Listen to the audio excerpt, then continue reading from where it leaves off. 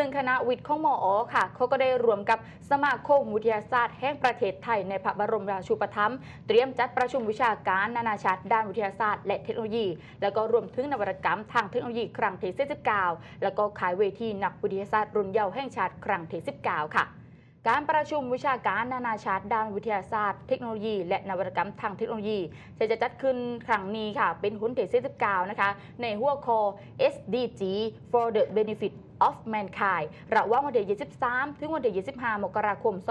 2567 ค่ะ ซึ่งเขาจะจัดขึ้นที่ศูนย์ประชุมนานาชาติสลองสิริราชสมบัติครบ 60 ปี จังหวัดสงขลา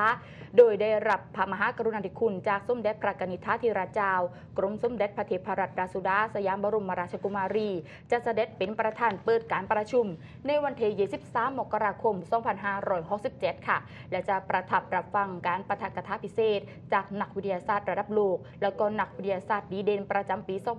2566 แล้วก็เสด็จเยี่ยมชมนิทรรศการด้วยนะคะ โดยการจัดประชุมในวันนี้ค่ะ สมาคมวิทยาศาสตร์แห่งประเทศไทยในพระบรมราชูปถัมภ์ก็ต้องการเปิดเวทีในการแลกเปลี่ยนเรียนรู้ แล้วก็ถ่ายทอดประสบการณ์ ความเชี่ยวชาญทางวิชาการด้านวิทยาศาสตร์ ระหว่างกันนะคะในระดับนานาชาติ ซึ่งในวันนี้ค่ะจะมีผู้สนใจทางในและก็ต่างประเทศเข้ารวมว่า 18 ประเทศเลยค่ะ เพื่อจะได้นำเสนอผลงานวิจัย แล้วก็แลกเปลี่ยนความคิดเห็นรวมกันกับนักวิทยาศาสตร์มีการนำเสนอผลงานวิชาการทางด้านวิทยาศาสตร์ แล้วก็เทคโนโลยีระดับนานาชาติว่าเซโรยผลงานค่ะ ศาสตราจารย์ ดร อัญชนาประเทศคณะบดีคณะวิทยาศาสตร์ก็กล่าวนะคะว่าคณะวิทยาศาสตร์ได้ร่วมรูปแบบการจัดงานที่สอดคล้องกับเป้าหมายการพัฒนาที่ยั่งยืนขององค์การสหประชาชาติ โดยได้ดำเนินกิจกรรมตามแนวทางปฏิบัติเบื้องต้นสำหรับการจัดงานอย่างยั่งยืนคำนึงถึงสิ่งแวดล้อมสังคมและเศรษฐกิจ ในการลดการสร้างก๊าซเรือนกระจก ซึ่งเป็นสิ่งที่ทั่วโลกรวมถึงรัฐบาลรณรงค์ในประเด็นนี้ คณะวิทยาศาสตร์จะนำเสนอผลงานการวิจัยของอาจารย์และนักศึกษา จากสาขาวิชาต่างๆ รวมทั้ง plenary speaker ที่น่าสนใจ ถือเป็นโอกาสที่ดีสำหรับผู้เข้าร่วมประชุม รวมถึงจังหวัดสงขลาที่ได้ต้อนรับนักวิทยาศาสตร์ในระดับโลกด้วยค่ะ การจัดงานเนี่ยเราตั้งใจว่าจะเป็น sustainable event นะคะ มันจะเป็นองคาพยพของโลกว่าเราจะช่วยการลดการปลดปล่อยก๊าซเรือนกระจกยังไงได้บ้างนะคะพื้นที่การจัดงานตรงนี้อย่างที่เรียนว่าอาจจะเป็นโชว์เคสส่วนหนึ่ง แล้วเราก็จะมีบูธให้ความรู้ด้วยเผื่อหน่วยงานนะคะ ไหนที่สนใจที่จะเข้ามาเรียนรู้แล้วก็เป็นส่วนร่วมในการเข้าสู่ CFO ว่าด้วยเรื่องของการลดก๊าซเรือนกระจกเนี่ยก็จะมีพื้นที่ให้ consult ปรึกษาได้ ช่วยกันพัฒนาโครงการแนะนำได้นะคะอันนั้นก็อาจจะอยากจะฝากไว้ว่าเป็นไฮไลท์อีกอย่างหนึ่งนะคะของการจัดงานประชุมของเราค่ะเชิญชวนทุกท่านนะคะเพราะว่ามันเป็นความตั้งใจของคณะวิทยาศาสตร์ มหาวิทยาลัยสงขลานครินทร์ร่วมกันกับทางทางสมาคม อันนั้นน่าจะบอกว่าเป็นบริบทที่หนึ่งนะคะแต่เราไม่จบแค่นี้จริงๆแล้วเราก็พยายามชักชวนนะคะ ภาคส่วนต่างๆ ที่เกี่ยวข้องเราก็เชิญชวนสมาชิก ยกตัวอย่างอย่างเช่นสภาคณะบดีวิทยาศาสตร์แห่งประเทศไทยนะคะซึ่งก็มีด้วยกัน 32 แห่งทั่วประเทศเนี่ยก็จะเข้ามาช่วยกันเติมแรง เพื่อจะทำงานตรงนี้เนี่ยให้มันสมบูรณ์มากยิ่งขึ้นค่ะ ก็เชิญเชิญทุกท่านนะคะ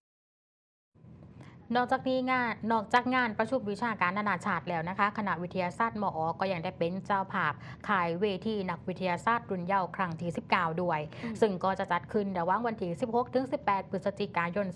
2566ค่ะถือว่าเป็นการเปิดโอกาสให้เยาวชนได้แสดงความรู้ความสามารถทักษะกระบวนการคิดทางวิทยาศาสตร์ และความคิดสร้างสรรค์ผ่านการประกวดทางวิทยาศาสตร์ในรูปแบบที่หลากหลาย โดยมีหัวข้อการประกวด 6 ประเภทค่ะได้แก่ การประกวดวาดภาพการ์ตูนทางวิทยาศาสตร์ ประกวดวาดภาพจินตนาการทางวิทยาศาสตร์ ประกวดกระบวนการแก้ปัญหาทางวิทยาศาสตร์ ประกวดตอบปัญหาทางวิทยาศาสตร์ ประกวดสิ่งประดิษฐ์และนวัตกรรมนักวิทยาศาสตร์หน่อย ประกวดโครงงานวิทยาศาสตร์ค่ะค่ะโดยมีครูแล้วก็นักเรียนจากทั่วประเทศนะคะ เข้าร่วมกิจกรรมว่า700คนอืมทางนี้ก็เพื่อคัดเลือกตัวแทนในการแข่งขันระดับโลกต่อไป